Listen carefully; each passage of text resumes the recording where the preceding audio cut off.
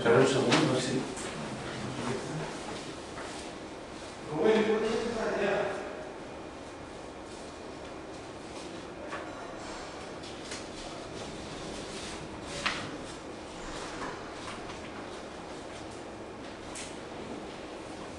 Okay. So welcome everybody. Let's uh, start now the presentation of the master thesis Pedro Parrado, which is called Searching Chimeras in the Non-Local Complex Now Equation. Please go ahead. Is it recording? Sí. Welcome, I'm Pedro Parrado, and I'm going to defend here my master thesis, searching chimera states in the non-local complex Landau equation. Uh, in this presentation, I'm going to explain uh, my thesis and the results that I obtained. So, we're going to start with a little introduction of what is a chimera state. With in the in dynamical systems is a collective state characterized with the coexistence of a synchronized state, which will be for a system of oscillators, uh, a phase with a mode with all oscillating phase, and a desynchronized region where they oscillate incoherently. Show a few examples, like for example, uh, chimera states that have been found in a model of bursting neurons. So in this image, we have um, a state in which all of them are incoherent. In C, we have a coherent region, and in B, we have what would be the chimera, which is a localized structure of incoherent uh, oscillators and coherent oscillators. Next example is actually from an experiment from coupled metronomes in which they can oscillate uh, here in phase and here chaotically, uh, forming the chimera. This experiment was realized by Martens et al. And, and they actually came here to explain the, the experiment. And this is our last example, example which is the Kuramoto model.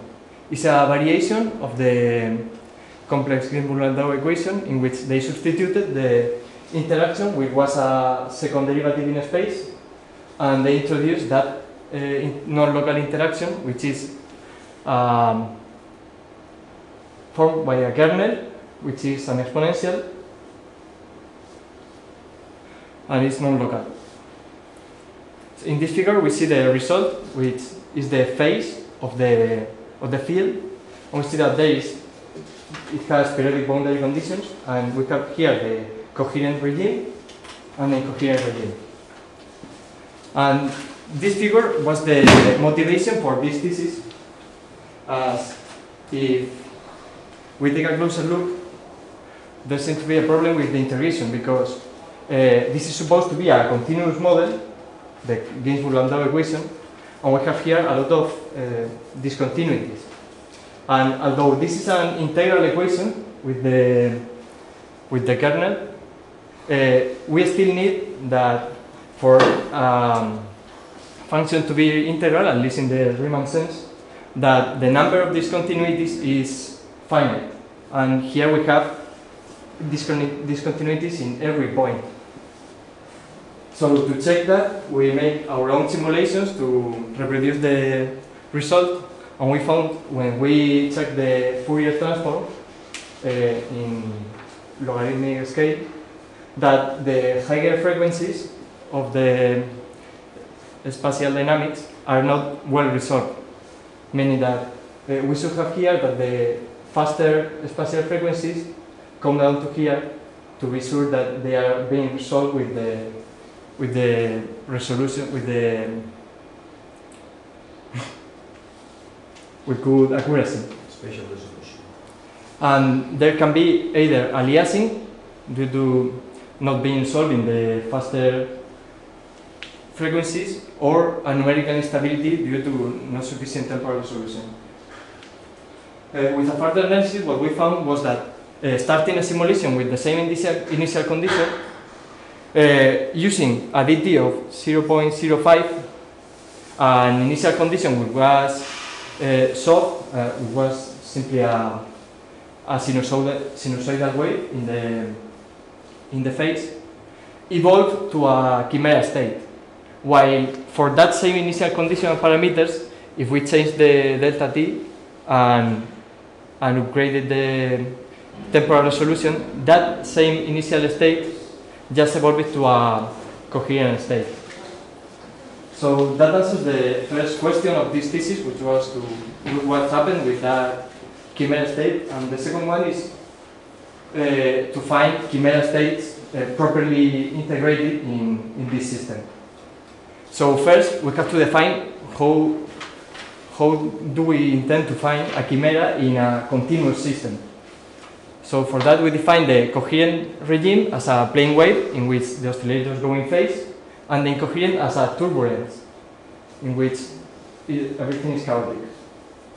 And to study that, we make the linear stability analysis of the plane wave solutions. We introduce this kind of perturbation to the plane wave solution uh, as they used here uh, for the Ginzburg-Landau equation, and we found this expression for the growth rate, where we found that for beta 2, which is the imaginary part of beta, there is a, a value, a critical value, for which the planar waves becomes uh, unstable. Furthermore, for different uh, wave numbers, we found that the last plane wave that became unstable was the, the homogeneous one, the wave number equal to zero. So it's like a Benjamin-Feir instability. In this figure, we have the beta 2 as a function of, of q, which is the wave number of the plane wave, and the coupling strength, which was k here. And here we have the, the phase diagram that we obtained from this linear stability analysis. In blue, we have the region in which, in which the plane waves are stable, and in red, the region in which plane waves are unstable. So we don't know what is here. Well, we know now, but uh, what we intend to find is if is there any region where the chimeras can be formed in that transition. So to study the transition, we define this order parameter that evaluates the incoherence of the system, the turbulence. Uh, this is the Fourier transform, and what we define as order parameter was the inverse of this slope of the Fourier transform in logarithmic scale. We measure with simulations uh, that order parameter along the transition, going from coherence to incoherence and vice versa. And what we found is that that transition seems to be supercritical. And as supercritical, there is no room for hysteresis and a coexistence of both solutions. So the result was that there is no room for a chimera state as defined as a coexistence between turbulence and coherent region to be formed in this equation. After that, uh, as we have used only an exponential kernel, we thought that we could use a different one. And instead of uh, just putting by hand several different kernels, we use a moment expansion of the kernel. And although this is not the most general that one can do, and in fact this don't even include the exponential kernel, it's enough to to define kernels like the Gaussian or the Mexican hat.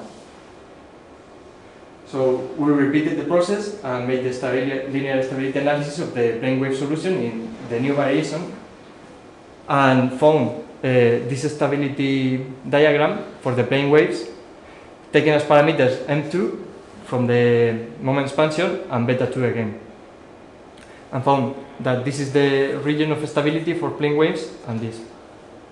Uh, here we have the growth rate for the different quadrants and have that uh, for this one we have stability, for these two we have uh, turbulence, and for this last one we have something special which is a pattern formation. Here we see some examples of the simulation in the turbulent regime.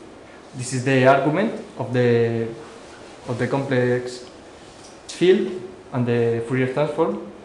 And here we have an example of the pattern formation regime. So again, what we did were, was to measure that order parameter along the transitions between the plane waves and the turbulent regimes. But what we what we found again was that the transitions were supercritical and there was no hysteresis. So we didn't find any room to, to find chimeras in this model.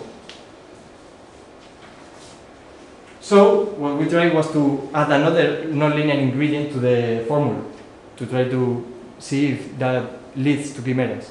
We added this kinetic term and repeated the stability analysis of the plane waves here. In this stability diagram that we found for the plane waves, we repeated the process of uh, looking for the transitions and the other parameter, but again we found that the transitions were supercritical. So we didn't find chimeras here either. So to conclude, our conclusion were that uh, our simulations seem to indicate that the chimera states defined as, in, as the former were the product of computational errors, uh, probably uh, a nonlinear instability due to a lack of temporal resolution, our simulation seems to indicate, and do not exist there. And Second, that the transition between the plane wave solution and the turbulence is supercritical, so we did not find uh, a chimera state at least defined as a coexistence between the phase uh, between the plane wave and the turbulent region. We didn't find that kind of chimera either in neither of the other models that we used. And finally, uh, this left some study to be made to find what is the condition that can lead to a chimera of this kind in a system, in a continuous system, and we cannot discard other kinds of, of chimeras as we only studied the, the chimeras understood as the coexistence of a plane wave and a turbulent region. And that's the end of the presentation. Thank you. Thank you, Pedro. Okay.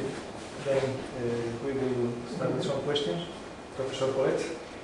Okay, so uh, I have some uh, remarks which are more detailed, but starting with the say general perspective. So the, the main point of, of the presentation is that well there is people that claim that they were